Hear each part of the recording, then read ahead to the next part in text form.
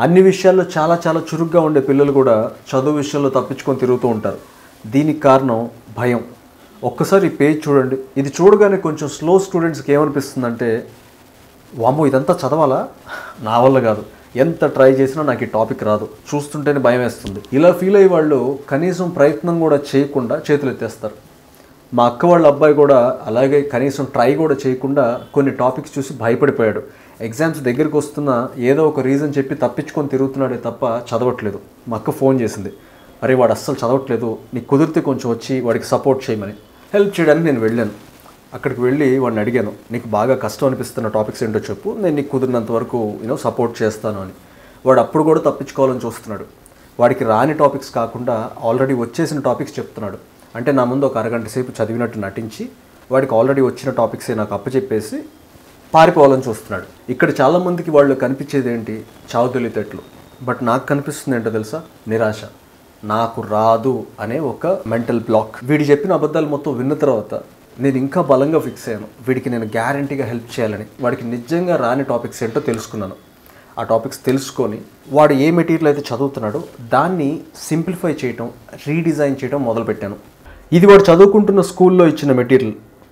ఈ మెటీరియల్ తీసుకొని నేను కొంచెం కుదించాను. దాన్ని కాస్త సింప్లిఫై చేశాను. మధ్య మధ్యలో అవసరం లేని ఇన్ఫర్మేషన్ ఉంటే దాన్ని రిమూవ్ చేసేసాను.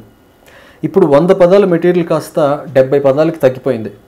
దీన్ని తీసుకొని నేను ఐదు భాగాలుగా విభజించాను. ప్రతి ఒక్క భాగాన్ని తీసుకొని సెపరేట్గా ఇంకో షీట్ మీద పెట్టాను. ఇంతకుముందు మనం ఒకేసారి బోలెడంత ఇన్ఫర్మేషన్ చూసాం. ఇప్పుడు ప్రతి ఒక్క కార్డులోనూ చాలా తక్కువ ఇన్ఫర్మేషన్ ఉంది. చూడగానే మనకి స్ట్రెస్ అనిపించట్లేదు. అండ్ ఆ ఇన్ఫర్మేషన్ పైన ఒక చిన్న బొమ్మ కూడా ఉంచాను. అప్పటి వరకు ఏ టాపిక్స్ చూసైతే మా వాడు భయపడ్డాడో అవే టాపిక్స్ తీసుకొని నేను కొత్తగా తయారు చేసిన మెటీరియల్ వాడు చూశాడు. అబ్బా దిస్ ఇస్ అమేజింగ్ చాలా బాగుంది మాయ ఇలా ఎగ్జైట్ అవుతూ ఉన్నాడు.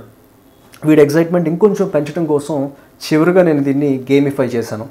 వీడియో గేమ్ ఆడితే ఎట్లయితే పాయింట్స్ వస్తాయో ప్రతి ఒక్క కార్డులో ఉన్న మెటీరియల్ అప్పు చెప్తే రెండు కాయిన్స్ ఐదు కాయిన్స్ పది కాయిన్స్ అని చెప్పి ఆ కార్డ్ కింద నేను రాశాను. చివరిలో నేను వాడితో మాట అన్నాను రేపు సాయంత్రం లోపు నువ్వు వంద కాయిన్స్ కలెక్ట్ చేస్తే నీకు బాగా నచ్చిన గండం రోబోట్ కొని పెడతా అన్నాను. వాడి కళ్ళు పెద్దవైపోయినాయి. కొన్ని చిన్న చిన్న టెక్నిక్స్ నేర్పించాను. ఎట్లా చదవాలి ఎలా అప్రోచ్ అవ్వాలి అని. ఎగ్జాక్ట్గా నేను చెప్పిన టెక్నిక్స్ ఫాలో అయ్యి వాడు మరుసటి రోజు సాయంత్రం కల్లా నేను చెప్పినట్టు వంద కాయిన్స్ కలెక్ట్ చేశాడు. కొన్ని రోజుల తర్వాత మా అక్క ఫోన్ చేసింది. నువ్వేం చెప్పావో తెలియదు కానీ వాడు చాలా సీరియస్గా చదువుతున్నాడు. ఒక్కసారి వాడు మాట్లాడతాడంట అని ఫోన్ ఇచ్చింది.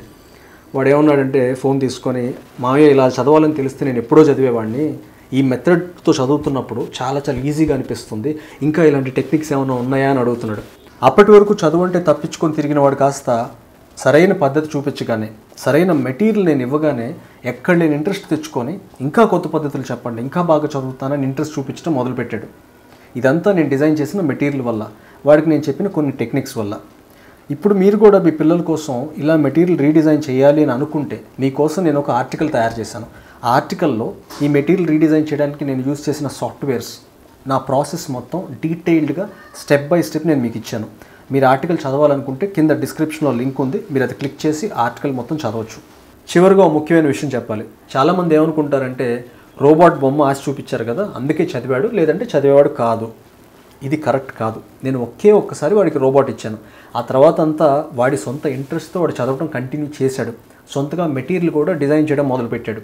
వాడికి వచ్చిన పద్ధతిలో పేపర్లు కట్ చేసేసి చిన్న చిన్న బొమ్మలు వేసి వాడే తయారు చేసుకుంటున్నాడు. ఇదంతా ప్రాసెస్ తెలిసిన తర్వాత చదవటం ఎంత ఈజీ అవుతుందో తెలిసిన తర్వాత వాడికి వచ్చిన సొంత ఇంట్రెస్ట్ నేను చేసింది ఏం లేదు.